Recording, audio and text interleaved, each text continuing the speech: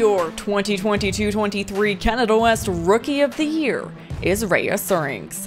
Surinx stepped into a major role with the Manitoba Bisons in just her first season, helping them to a sixth-place finish. Surinx's power and athleticism on the outside were evident from the jump, and her skill set only seemed to grow as the season wore on.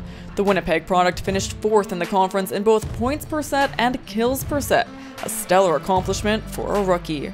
She also put opponents on notice with her serve, sailing in 44 aces on the year. Her high ceiling and work ethic are promising for the Bison's program.